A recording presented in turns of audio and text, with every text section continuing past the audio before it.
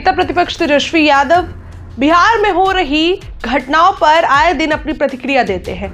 आए दिन bullet point जारी करते हैं और बिहार सरकार और केंद्र की सरकार को घेरने का काम करते हैं। डबल इंजन की सरकार पर तेजस्वी यादव तंज कसते नज़र आते हैं। बताते चले कि तेजस्वी यादव बिहार की यात्रा रद्द करके झारखंड में बैठे हुए हैं। झारखंड में चुनाव होना है। इसको लेकर तेजस्वी यादव पूरे तरीके से अलर्ट है।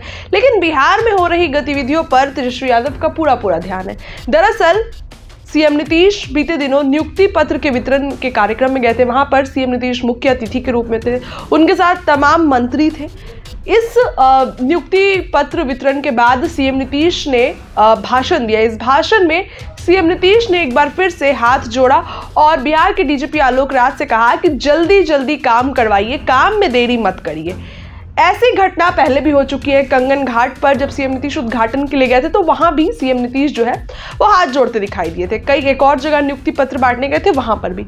लेकिन इस बार भी तेजस्वी यादव सीएम नीतीश पर तंज कस रहे हैं। तेजस्वी यादव का ट्वीट आपकी स्क्रीन पर चल रहा होगा। तेजस्वी यादव लिखते हैं, जनहित में कार्य करवाने के लिए अपने मातहत अधिकारियों के सामने बराबर हाथ जोड़ गिरगिराना। उनके पैर पर ना क्या एक असहाय, असमर्थ असक्त अस्वस्थ, बेबस, लाचार और कमज़ोर मुख्यमंत्री की निशानी नहीं है।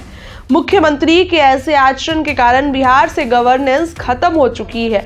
एक मुख्यमंत्री का गिरगिराने वाला ऐसा आचरण लोकतांत्रिक व्यवस्था के लिए शुभ संकेत नहीं है।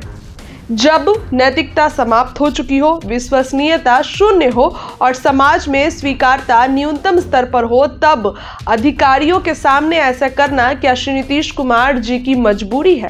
तेजस्वी यादव, इसके बाद वो वीडियो शेयर किए हैं, जो कल का वीडियो है कार्यक्रम का, जिसमें सीएम नीतीश हाथ जोड़ रहे हैं। और तेजस्वी यादव एक बड़ा तंज कसते हुए सीएम नीतीश पर नज़र आ रहे हैं। वो ऐसा हमेशा करते हैं, लेकिन इस बार अब आजकल तेजस्वी यादव अपने चाचा पर काफ़ी ज़्यादा तंज कसते नज़र आ रहे हैं। फ़िलहाल देखने वाली बात होगी कि एनडीए के लोग इस पर सफ़ाई कैसे देते हैं। एनडीए के लोग ऐसा कहते हैं कि हमारे नेता इतने डाउन टू अर्थ है कि वो अधिकारियों से काम हाथ जोड़ कर करवाते हैं, ना कि उन्हें ऑर्डर देते हैं। लेकिन विपक्ष इस पर हमलावर है।